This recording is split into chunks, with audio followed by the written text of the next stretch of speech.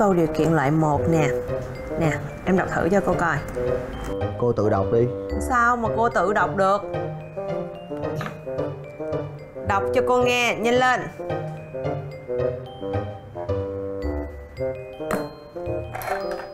Nè, mẹ em đã dặn cô Nếu mà em hư á là phải phạt em thiệt là nặng đó nha. Đọc nhanh lên. Không đọc nè Cô dám đánh đầu tôi hả? Ai biểu em không chịu đọc chi? Tôi ghét nhất là ai dám đụng lên đầu tôi đó. Cô mà đụng lên đầu tôi một lần nữa Không có đi như cô đâu. Em nghĩ em nói là cô sẽ sợ em á hả? Ai em không chịu động chi? Đánh đầu đánh, đánh trên đầu mà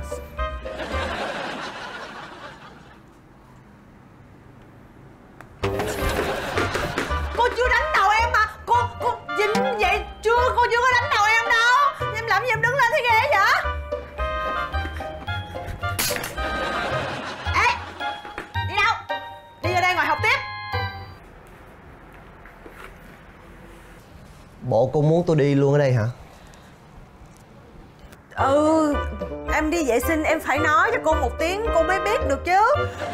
Cô cho em đi vệ sinh uh, 10 giây thôi đó. 10 9 8 7 Trời đất ơi Cái thằng này nó hung tợn thiệt chứ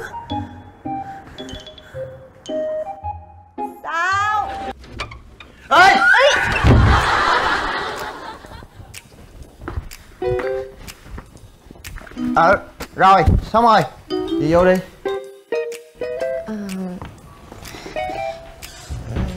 Tôi tôi xin lỗi cậu nhiều nha. Tại cái cửa phòng của cậu á không có chỗ gõ cửa. À, Không sao đâu. Mà chị kiếm em có gì không? À tôi tôi tự học tiếng anh nè mà nó khó quá à. tôi hỏi cậu một câu được không? Tiếng Anh hả? Anh sẽ đứng trước các từ bắt đầu bằng những nguyên âm U, E, O, A, I. Đó Nhưng mà chúng ta sẽ dựa theo cách đọc Chứ không phải dựa theo cách viết. Hoặc là một cái cách dễ nhớ hơn là chị có thể ghép hai cái từ nè U, E, O, I, E Nó giống gì? Nó giống từ uể oải. Đó, mình có thể gọi là uể oải. Hoặc là mình ghép những từ đó thành cha mẹ cô dì chú. Đó. Wow không ngờ có cách học hay vậy luôn á. Ừ, chỉ cần nhớ các từ đầu là nhớ hết các từ còn lại. Chính xác. Một cách này cậu nghĩ ra hả Ờ thì ờ, học cái ờ, tự nhiên nghĩ ra vậy đó. Công nhận cậu thông minh thiệt á. Có gì đâu. Thôi bây giờ mình qua tới cái bài thứ hai nè. Bài thứ hai là bài cách sử dụng động từ to be am er với mỗi cái chủ từ thì mình sẽ dùng những động từ to be riêng. Đó ví dụ như chủ từ là he she it gì đó mình sẽ dùng am er riêng gì đó. Ừ vậy chắc khó nhớ lắm ha. Có cách nào dễ nhớ hơn không? Cách dễ nhớ hả có có một cách. Ờ, nó có một cái bài hát. Cái bài hát là là gì nè? When I touch me I can touch you. To find out the dream is true. I love to be loved by you. Đó chị làm thử đi. Thôi. Thử đi thử đi. Đừng ngại. Mình đang học mà ngại gì trời. Đó thử đi. Đưa, đưa tay lên vậy nè. Đó rồi hát. When I touch me Touch me I can.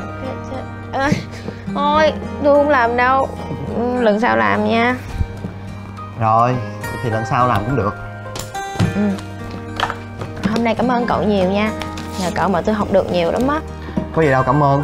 À, Nhưng mà chị phải học thuộc nha. Em có thể trả bài bất cứ lúc nào đó. Dạ em biết rồi. Cảm ơn thầy nhiều nha. Nhưng gọi thầy à, nghe không có quen gì hết. Thì thầy thiệt chứ bộ thôi em xin phép thầy. Thôi đừng gọi thầy nữa. Nghe kỳ cũng chết.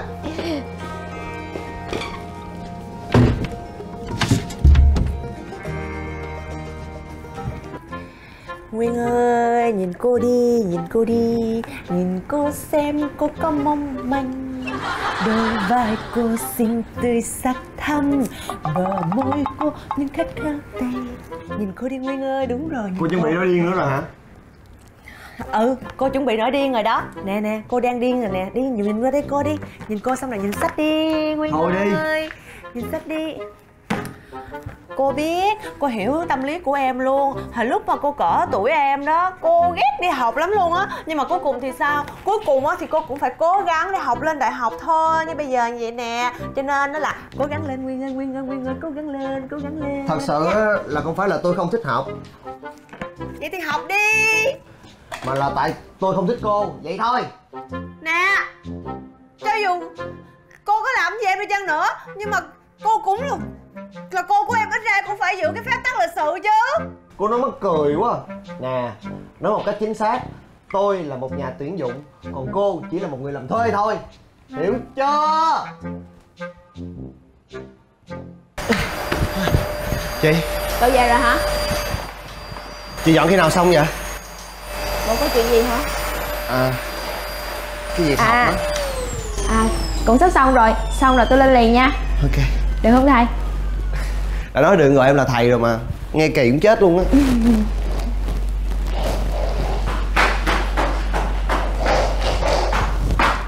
À, sao mấy cái câu này nó khó vậy ta?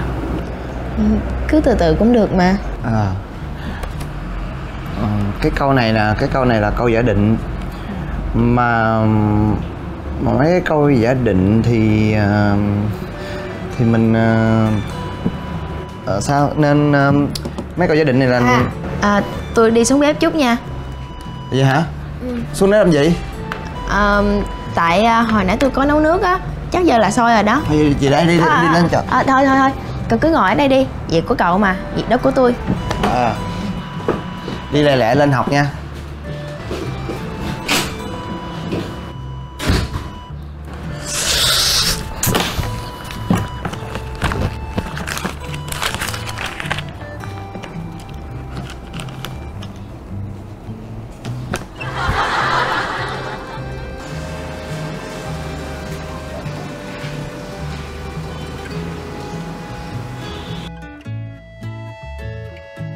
ờ vô đi vô đi.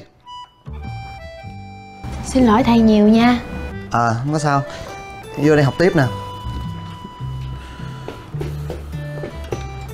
Rồi tiếp tục. Hồi nãy em nói cái câu này là cái câu giả định đúng không? Thì đáp án của nó là câu b. Rồi biết tại sao nó nó, nó là câu b không? Ờ, là tại vì ờ, cái từ mai nè. Từ mai này nè nó là ủa sao chị cười á à không có gì thầy giảng tiếp đi. À ờ, cái cái từ may này nè nó là là thì uh, quá khứ của động từ may. Đó cho nên là mình vẫn có thể áp dụng nó vào những cái câu ở thì hiện tại. Đó cho nên là đáp án b. Hiểu chưa? Đó rồi qua cái câu thứ hai nè. Đó cái câu thứ hai này là câu này. Đó mình cảm thấy câu này là câu c. Mấy này là c ghi vô. Đáp án c. C là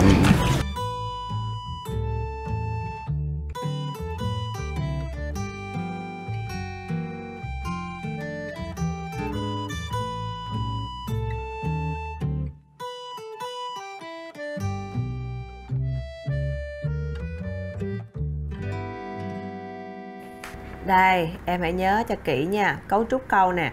Not A but B. Không phải A mà là B. Cái này là cấu trúc câu nhấn mạnh B. Biết chưa? Nhớ nha. Rồi, bây giờ em ờ, làm cho cô ví dụ một câu đi Với cái cấu trúc này nè. Not A but B. Ờ, Not bị say rượu Bết mất tự chủ do rượu. Nè Em đang nói cô hả? Mất tự chủ do say rượu hả? Ủa? Em làm không đúng hả cô? Hay là em nói đúng tim đen của cô rồi? Nó trúng tim đen Bích, em muốn bị ăn đòn không? Not muốn bị ăn đòn Bết cô muốn chết trước không? Nó cô sẽ không chết trước Bích, em sẽ chết trước dưới tay cô đó biết không? Not chết dưới tay cô Bết tôi cô chết trước á. Công nhận tiếng Anh của hai người ghê thiệt. Cho cậu mượn cái máy tính nha Đừng bận tâm với chuyện người khác. Lo dạy học thì học đi.